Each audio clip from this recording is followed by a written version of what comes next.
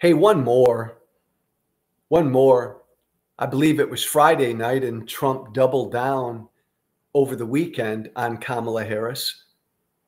Donald Trump said, he said, Kamala Harris was mentally impaired from birth.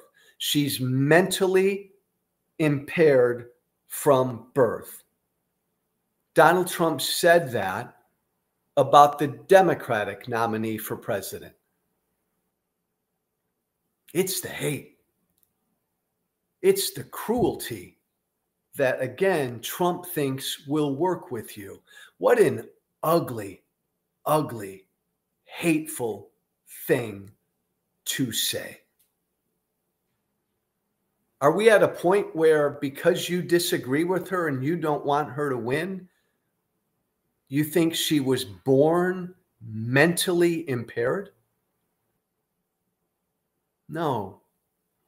That's not Trump having a problem with Kamala Harris's stance on an issue. That's Trump being ugly and cruel and hateful. That's Donald Trump spreading hate. There's no greater disseminator of hate in this country than Donald Trump. There's no bottom to what he will say about Kamala Harris. But this is the road we're on. Trump's only path to victory is to scare you to lie to you and scare you.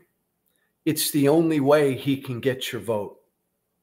Trump's only path to victory is appeal to the very worst in you. The point Donald Trump is getting uglier and uglier and more reckless and more reckless and more dangerous and more dangerous and darker and darker in what he says. There is no bottom. This is 38 days before the election. Oh my God. Wait until you hear what Donald Trump will say a week before the election, because the point here is Trump thinks you all are easily fooled. Easily scared, frightened little children, and all he's trying to do is scare the shit out of you